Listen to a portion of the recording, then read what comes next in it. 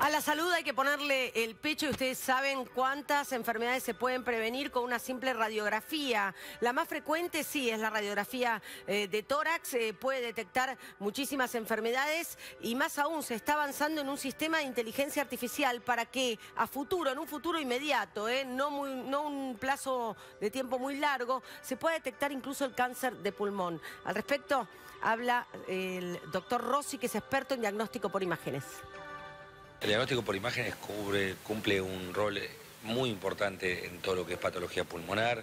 Hoy en día, desde nódulos pulmonares hasta enfermedades del intersticio, que es el tejido que sostiene el pulmón, hasta enfermedades como el asma, el EPOC, para diagnosticar enfisema. Hay muchas entidades que seguramente la gente escucha, donde las imágenes, y las imágenes sobre todo con tomografía computada y de alta calidad, tienen un gran impacto en el posterior diagnóstico y tratamiento de estos pacientes.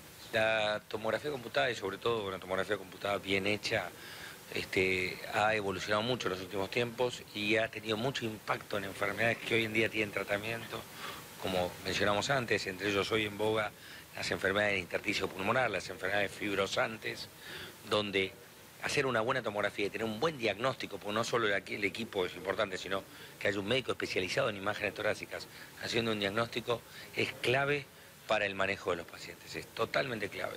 ¿Cómo impacta en la vida del paciente? Impacta de muchas formas, porque impacta, sobre todo tenés dos, dos lados. El hacer el diagnóstico, que el diagnóstico sea más temprano y pueda hacer un tratamiento más eficaz y mejor calidad de vida y además muchas veces hasta reduce costos de salud a futuro. Y otra vez también impacta en pacientes que vienen con sospecha de algo que al final no lo tienen. Entonces, tenés dos tipos de pacientes, el que vamos a diagnosticar y el que vamos a decirle, mire, usted pensaba que tenía esto, y tiene otra cosa.